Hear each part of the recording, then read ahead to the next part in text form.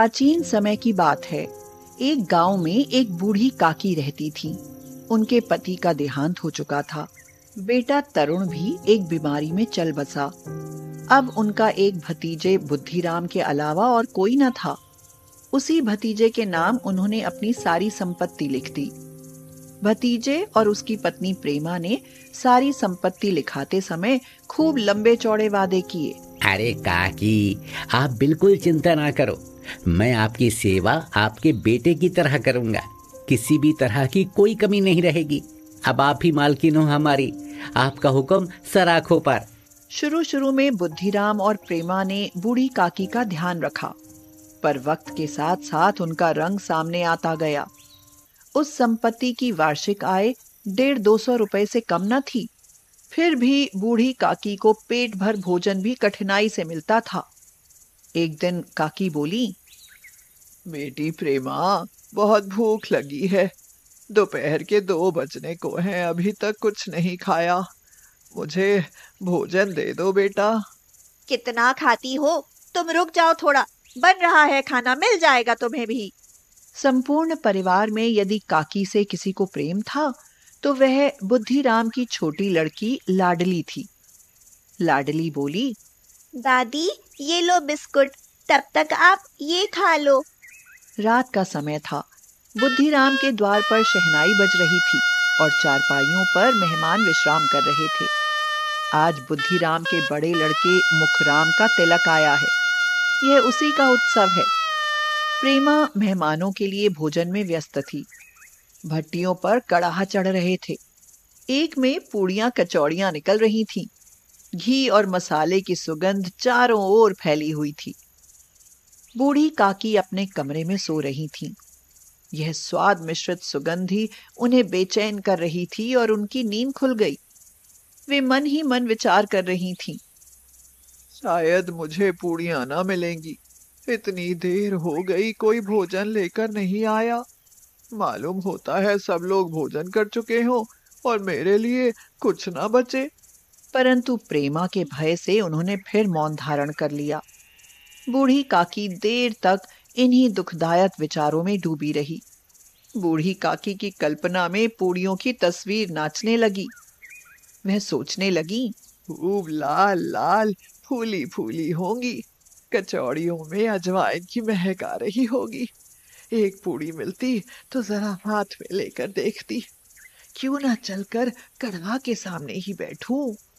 इस प्रकार निर्णय करके बूढ़ी काकी लाठी टेक टेक कर बड़ी कठिनाई से चौखट से उतरी और धीरे धीरे रेंगती हुई कढ़ा के पास जा बैठी। यहाँ आने पर उन्हें उतना ही धैर्य हुआ जितना भूखे कुत्ते को खाने वाले के सम्मुख बैठने में होता है। प्रेमा उस समय कार्यभार में व्यस्त थी। कभी इस कोठे में जाती, कभी उस कोठे में, कभी कढ़ा के पास जाती, कभी भंडार में जाती। किसी ने बाहर से आकर कहा महाराज ठंडाई मांग रहे हैं। ठंडाई देने लगी। इतने में फिर किसी ने आकर कहा शंभू आया है उसे कुछ दे दो। वह शंभू के लिए कुछ खाने को निकाल रही थी कि एक तीसरे आदमी ने आकर पूछा अभी भोजन तैयार होने में कितना समय है? बेचारी अकेली स्त्री दौड़ते दौड़ते व्याकुल हो रही थी। झुंझलाती थी परंतु क्रोध प्रकट करने का अवसर न पाती थी। प्यास से स्वयं गला सूख रहा था, परंतु इतना समय न था कि जरा पानी पी ले। इस अवस्था में उसने बूढ़ी काकी को कढ़ा के पास बैठी देखा तो जल गई, क्रोध न रुक सका। इसका भी ध्यान न रहा कि पड़ोसने बैठी हुई हैं, मन में क्या कहेंगी? पुरुषों में लोग सुनेंगे तो क्या कहेंगे? वह बूढ़ी काकी पर झपटी और उन्हें दोनों हाथों से झटक कर बोली, ऐसे पेट में आग लगे, पेट है या भाड़? अभी मेहमानों ने नहीं खाया भगवान को भोग नहीं लगा तब तक धैर्य न हो सका। जल जाए ऐसी जीभ। गाँव देखेगा तो कहेगा कि बुढ़िया को भरपेट खाने को नहीं मिलता। नाक कटवा कर दम लेंगी। भला चाहती हो तो जाकर कमरे में बैठो। जब घर के लोग खाने लगेंगे तब तुम्हें भी मिलेगा। हाँ। बूढ़ी काकी ने सिर उठाया और चुपचाप अपने कमरे में चली गई। भोजन तैयार हो गया है। आँगन में पत्तलें पड़ गईं, मेहमान खाने लगे। बूढ़ी काकी अपने कमरे में जाकर पश्चाताप कर रही थी कि उन्हें प्रेमा पर क्रोध नहीं था, अपनी जल्दबाजी पर दुख था। वह सोच रही थी, सच ही तो है, जब तक मेहमान लोग भोजन न कर चुकेंगे, घर वाले कैसे खाएँगे? मुझसे इतनी देर भी न रहा गया। अब जब तक कोई बुलाने नहीं आएगा, न जाऊँगी। मन ही मन इस प्रकार का विचार कर वह बुलाने की प्रतीक्षा करने लगी और सोचने लगी, अब पत्तल बिछ गई होंगी, अब मेहमान आ गए होंगे, लोग हाथ पैर धो रहे होंगे। मालूम होता है लोग खाने बैठ गए हाँ। यह विचार कर वह मन को बहलाने के लिए लेट गई। धीरे धीरे एक गीत गुनगुनाने लगी। उन्हें मालूम हुआ कि मुझे गाते देर हो गई। वह सोच रही थी। क्या इतनी देर तक लोग भोजन ही कर रहे होंगे? किसी की आवाज़ सुनाई नहीं देती। फिर से बूढ़ी काकी लाठी टेक टेक कर आँगन में आ गई। उन्होंने देखा कि मेहमान मंडली अभी बैठी हुई थी कि इतने में बूढ़ी काकी उनके बीच में आ पहुँची। कई आदमी चौंकते हुए बोले अरे ये बुढ़िया कौन है? यहाँ कहाँ से आ गई? देखो, किसी को छूना दे। पंडित बुद्धिराम काकी को देखते ही क्रोध से तिलमिला गए। उन्होंने काकी के दोनों हाथ पकड़े और घसीटते हुए लाकर उन्हें अंधेरे कमरे में धम से पटक दिया। मेहमानों ने भोजन किया घर वालों ने भोजन किया। बाजे वाले सभी भोजन कर चुके, परंतु बूढ़ी काकी को किसी ने न पूछा। बुद्धिराम और प्रेमा दोनों ही बूढ़ी काकी को उनकी निर्लजता के लिए दंड देने का निश्चय कर चुके थे। अकेली लाडली उनके लिए तड़प रही थी। लाडली को काकी से अत्यंत प्रेम था। वह झुंझला रही थी और सोच रही थी, हम लोग काकी को क्यों बहुत सी पूड़ियाँ नहीं देते? क्या मेहमान सबकी सब खा जाएँगे? और यदि काकी ने मेहमानों से पहले खा लिया तो क्या बिगड़ जाएगा? उसने अपने हिस्से की पूड़ियाँ बिल्कुल न खाई थी। वह उन पूड़ियों को काकी के पास ले जाना चाहती थी। रात को ग्यारह बज गए थे। प्रेमा आँगन में पड़ी सो रही थी। लाडली की आँखों में नींद न आती थी। काकी को पूड़ियाँ खिलाने की खुशी उसे सोने न देती थी। उसे जब विश्वास हो गया कि उसकी अम्मा सो रही है तो वह चुपके से उठी और विचारने लगी कैसे चलूँ? उसने पिटारी उठाई और बूढ़ी काकी के कमरे की ओर चली बूढ़ी काकी को केवल इतना स्मरण था कि किसी ने उनके हाथ पकड़कर घसीटे और वे मूर्छित हो गईं। जब वे सचेत हुईं, तो किसी की जरा भी आहट ना मिली वह समझ गई कि सब लोग खा पीकर सो गए रात कैसे कटेगी? इतने में लाडली बूढ़ी काकी के पास आ जाती है और उनसे कहती है ये लो आप खाना खा लो। मेरी माँ ने भिजवाया है। नहीं ये मेरे हिस्से का खाना है आप खा लो। बेचारी बूढ़ी काकी भूख से व्याकुल। उसने यह भी ना सोचा कि लाडली ने कुछ खाया या नहीं। उसने तुरंत खाना शुरू कर दिया। पर उतने में उसका क्या भला होता? बूढ़ी काकी तो बहुत भूखी थी। उनसे रहा नहीं गया तब उन्होंने लाडली से कहा लाडली बेटा मुझे और भूख लगी है। जा मेरे लिए और ले आ। दादी अब कुछ नहीं बचा। ये तो मैंने अपने हिस्से की पुड़िया बचाई थी। लाडली मेरा एक काम कर दे। मेरा हाथ पकड़कर मेहमानों की झूठी पत्तल तक ले चल। उसी वक्त प्रेमा की आँख खुली। उसे मालूम हुआ कि लाडली तो उसके पास है ही नहीं। उसे वहाँ न पाकर वो उठ बैठी और आवाज़ लगाने लगी। अरे लाडली कहाँ गई? लाडली बेटा कहाँ है तू? तो क्या देखती है कि लाडली झूठी पत्तलों के पास चुपचाप खड़ी है और बूढ़ी काकी पत्तलों पर से पूड़ियों के टुकड़े उठा उठा कर खा रही है। रूपा का कलेजा सन्न से हो गया। ये वो नज़ारा था जिससे देखने वालों के दिल काँप उठे। प्रेमा को गुस्सा ना आया। दर्द और खौफ से उसकी आँखें भर आईं। वह बोली, हाय, मैं इतनी बेरहम हूँ, जिसकी जायदाद से मुझे दो सौ रुपए साल की आमदनी हो रही है। उसकी ये दुर्गत हे ईश्वर, मुझसे बड़ा भारी गुनाह हुआ है। मुझे माफ़ कर दो। आज मेरे बेटे का तिलक था। सैकड़ों आदमियों ने खाना खाया। मैं उनके इशारे की गुलाम बनी हुई थी, जिसकी बदौलत हज़ारों रुपए खाए उसे आज के दिन भी पेट भरकर खाना न दे सकी। उसने भंडारे का दरवाज़ा खोला और तुरंत खाना बनाने लगी।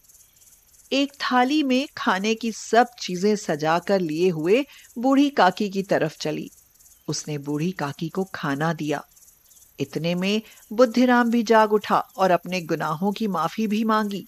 साथ ही वह भी अपने किए पर बहुत शर्मिंदा हुआ। प्रेमा बोली, मुझे माफ़ कर दो काकी। मैंने आपके साथ बहुत जुल्म करे हैं। मुझे माफ़ कर दो। हाँ काकी, अपने बुद्धिराम को माफ़ कर दो। अब से आपके साथ ऐसा कभी नहीं करेंगे। भोले भाले बच्चों की भांति, जो मिठाइयाँ पाकर मार और तिरस्कार सब भूल जाता है, बूढ़ी काकी वैसे ही सब भुलाकर बैठी हुई खाना खा रही थी। उनके एक एक रोए से सच्ची सदिच्छाएँ निकल रही थी, और रूपा बैठी स्वर्गीय दृश्य का आनंद लेने में निमग्न थी। अलकू अपनी पत्नी से कहता है अरे सुनो शहना आया है। लाओ जो रुपए रखे हैं उसे दे दो। अरे किसी तरह गर्दन तो छूटे। मुन्नी झाड़ू लगा रही थी। वो बोली तीन ही तो रुपए हैं। दे दूँ तो कंबल कहाँ से आएगा? माघ पूस की रात खेत में कैसे कटेगी? उससे कह दो फ़सल पर रुपया देंगे अभी नहीं है। हल्कू थोड़ी देर तक चुपचाप खड़ा रहा और अपने दिल में सोचता रहा पूस सर पर आ गया है। बगैर कंबल के खेत में रात को वो किसी तरह सो नहीं सकता मगर शहना मानेगा नहीं। और फिर मुन्नी से कहा ला दे दे गर्दन तो किसी तरह से बचे। कमल के लिए कोई दूसरी तरकीब सोचूँगा। मुन्नी उसके पास से दूर हट गई और आँखें टेढ़ी करती हुई बोली कर चुके दूसरी तरकीब? जरा सुनू कौन तरकीब करोगे हाँ? न जाने कितना रुपया बाकी है जो किसी तरह आधा ही नहीं होता। मैं कहती हूँ तुम खेती क्यों नहीं छोड़ देते? मर मर कर काम करो। पैदावार हो तो उससे कर्जा अदा करो। ऐसी खेती से बाज आए। मैं रुपए ना दूँगी ना दूँगी हाँ। हल्कू रंजीदा होकर बोला तो क्या गालियाँ खाऊं? गाली क्यों देगा? क्या उसका राज है? मगर यह कहने के साथ ही उसकी तनी हुई भवें ढीली पड़ गईं। फिर उसने ताक पर से रुपए उठाए और लाकर हल्कू के हाथ पर रख दिए। फिर बोली तुम आपकी खेती छोड़ दो। हाँ मजदूरी में सुख से एक रोटी तो खाने को मिलेगी। किसी की धौस तो ना रहेगी। अच्छी खेती है मजदूरी करके लाओ वो भी उसमें झोंक दो। हल्कू ने रुपए लिए और इस तरह बाहर चला। उसने एक एक पैसा काट कर तीन रुपए कंबल के लिए जमा किए थे। वो आज निकले जा रहे हैं। एक एक कदम के साथ उसका दिमाग अपनी नादानी के बोझ से दबा जा रहा था। पूस की अंधेरी रात, आसमान पर तारे भी ठिठुरते हुए मालूम होते थे। हल्कू अपने खेत के किनारे ओख के पत्तों की एक छतरी के नीचे बाँस के खटोले पर अपनी पुरानी गाढ़े की चादर ओढ़े हुए काँप रहा था। खटोले के नीचे उसका साथी कुत्ता जबरा पेट में मुँह डाले सर्दी से कू कू कर रहा था। दो में से एक को भी नींद ना आती थी।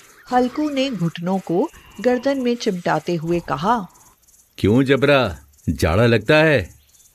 तो यहाँ क्या लेने आया था? अब खा सर्दी। मैं क्या करूँ? अब रो। जबरा ने लेटे हुए दुम हिलाई। शायद वो ये समझ गया था कि उसकी कू कू की आवाज़ से उसके मालिक को नींद नहीं आ रही है। हल्कू ने हाथ निकाल कर जबरा की ठंडी पीठ सहलाते हुए कहा कल से मेरे साथ ना आना नहीं तो ठंडे हो जाओगे। ये पछुआ हवा न जाने कहाँ से बर्फ़ लिए आ रही है। उठूं फिर एक चिलम भरूं। किसी तरह रात तो कटे आठ चिलम तो पी चुका। ये खेती का मज़ा है।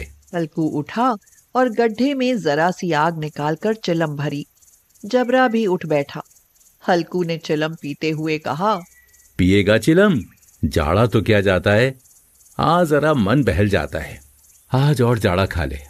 कल से मैं यहाँ पियाल बिछा दूँगा। उसमें घुस कर बैठना जाड़ा नहीं लगेगा। जबरा ने अगले पंजे उसके घुटनों पर रख दिए और उसके मुँह के पास अपना मुँह ले गया। हल्कू को उसकी गर्म सांस लगी। चिलम पीकर हल्कू फिर लेटा और ये तय कर लिया कि चाहे जो कुछ हो, अब की सो जाऊँगा। लेकिन एक लम्हे में उसका कलेजा कांपने लगा।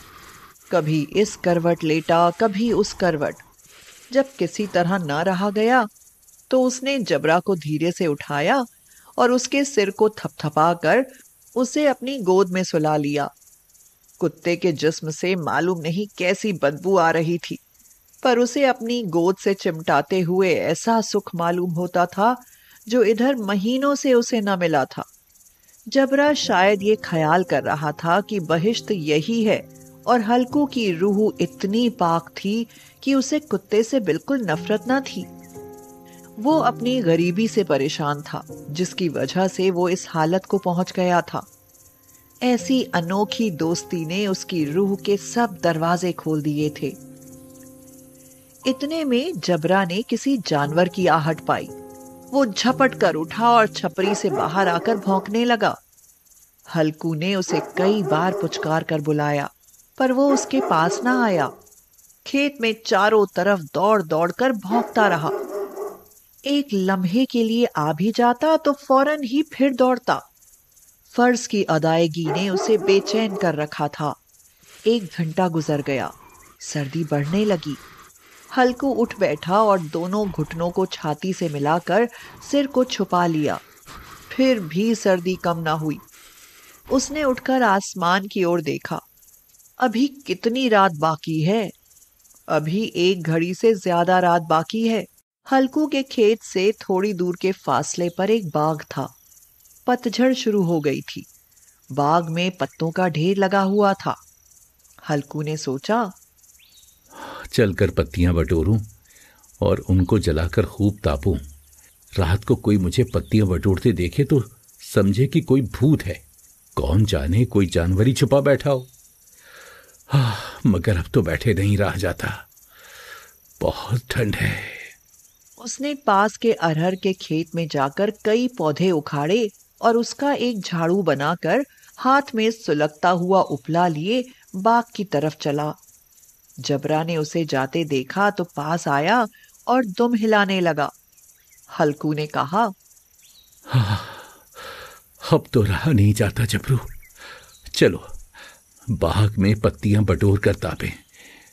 इकट्ठे हो जाएँगे तो फिर आकर सोएँगे। अभी तो रात बहुत है।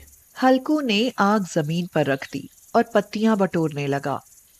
थोड़ी देर में पत्तों का एक ढेर लग गया। हाथ ठिठुरते जाते थे। नंगे पाँव गले जाते थे और वो पत्तियों का पहाड़ खड़ा कर रहा था। उसी अलाव में वो सर्दी को जलाकर खाक कर देगा। थोड़ी देर में अलाव जल उठा। उसकी लौ ऊपर वाले दरख्त की पत्तियों को छू छू कर भागने लगी। हल्कू अलाव के सामने बैठा हुआ आग ताप रहा था। एक मिनट में उसने अपनी चादर बगल में दबा ली और दोनों पाँव फैला दिए। उसने जबरा से कहा क्यों जबरा? अब तो ठंड नहीं लग रही है ना? जबरा ने कू कू करके गोया कहा अरे अब क्या ठंड लगती ही रहेगी? पहले ही ये तरकीब नहीं सूझी नहीं तो इतनी ठंड क्यों खाते? जबरा ने दुम हिलाई। हल्कू बोला अच्छा आओ इस अलाफ को कूद कर पार करें। देखें कौन निकल जाए है। अगर जल गए बच्चा तो मैं दवा ना करूँगा।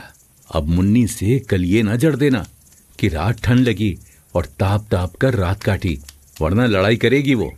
ये कहता हुआ वो उछला और उस अलाव के ऊपर से साफ़ निकल गया। पैरों में जरा सी लिपट गई पर वो कोई बात न थी। जबरा अलाव के गिर्द घूमकर उसके पास खड़ा हुआ। हल्कू ने कहा चलो चलो ऊपर से कूद कर आओ। वो फिर कूदा और अलाव के उस पार आ गया। पत्तियाँ जल चुकी थी। बगीचे में फिर अंधेरा छा गया था। राख के नीचे कुछ कुछ आग बाकी थी। हल्कू ने फिर चादर ओढ़ ली और गर्म राख के पास बैठा हुआ एक गीत गुनगुनाने लगा। उसके जिस्म में गर्मी आ गई थी, पर जू जू सर्दी बढ़ती जाती थी, उसे सुस्ती दबा लेती थी। जबरा ज़ोर से भौंककर खेत की तरफ़ भागा। हल्कू को ऐसा मालूम हुआ कि जानवर का एक झुंड उसके खेत में आया। शायद नील गाय का झुंड था। उनके कूदने और दौड़ने की आवाज़ें साफ़ कान में आ रही थी। फिर ऐसा मालूम हुआ कि खेत में चर रही हैं। उसने दिल में कहा हम्म जबरा के होते हुए कोई जानवर खेत में नहीं आ सकता। नोच ही डाले आ, मुझे वहम हो रहा है। अरे मुझे भी कैसा धोखा हुआ? उसने ज़ोर से आवाज़ लगाई जबरा जबरा जबरा भौंकता रहा, उसके पास ना आया। जानवरों के चरने की आवाज़ चर चर सुनाई देने लगी। हल्कू अब अपने को फरेब न दे सका, मगर उसे उस वक्त अपनी जगह से हिलना जहर मालूम होता था। वह अपनी जगह से न हिला बैठे बैठे जानवरों को भगाने के लिए चिल्लाने लगा। लियो लियो लियो लियो! हो हो हो हो! हो हो, हा हा हा हा हा! लियो लियो लियो लियो लियो! हा मगर जबरा फिर भौंक उठा। अगर जानवर भाग जाते तो वो अब तक लौट आया होता। नहीं भागे, अभी तक चल रहे हैं। शायद वो सब भी समझ गए हैं कि इस सर्दी में कौन बीघा है जो उनके पीछे दौड़ेगा। फ़सल तैयार है, कैसी अच्छी खेती थी। सारा गाँव देख देख कर जलता था। उसे ये अभागे तबाह किए डालते हैं। अब हल्कू से ना रहा गया। वो पक्का इरादा करके उठा और दो तीन कदम चला। बिच्छू के डंक का सा झोंका लगा। वो फिर बुझते हुए अलाव के पास आ बैठा और राख को कुरेद कुरेद कर अपने ठंडे जिस्म को गरमाने लगा। जबरा अपना गला फाड़े डालता था। नील गाय खेत का सफाया किए डालती थी और हल्कू गर्म राख के पास बेहिस बैठा हुआ था। आखिर वहीं चादर ओढ़कर सो गया। सवेरे जब उसकी नींद खुली तो देखा चारों तरफ़ धूप फैल गई है और मुन्नी खड़ी कह रही है क्या आज सोते ही रहोगे तुम? यहाँ मीठी नींद सो रहे हो और उधर सारा खेत चौपट हो गया। सारे खेत का सत्यानाश हो गया। भला कोई ऐसे भी सोता है? तुम्हारे यहाँ मंडिया डालने से क्या हुआ? हल्कू ने बात बताई। अरे मैं मरते मरते बचा। तुझे अपनी खेत की पड़ी है। पेट में ऐसा दर्द उठा कि मैं ही जानता हूँ। दोनों फिर खेत के डांडे पर आए। देखा, खेत में एक पौधे का नाम नहीं और जबरा मंडिया के नीचे चित्त पड़ा है। बदन में जान नहीं है। दोनों खेत की तरफ़ देख रहे थे। मुन्नी दुखी मन से कहती है अभी खेती करना छोड़ दो और मजदूरी करना शुरू कर दो। कम से कम एक वक्त की रोटी तो सुकून से खाएँगे। अलकू प्रसन्न होकर बोला हाँ मजदूरी ही ठीक है। कम से कम रात में ठंड में खेत पर आकर नहीं सोना पड़ेगा।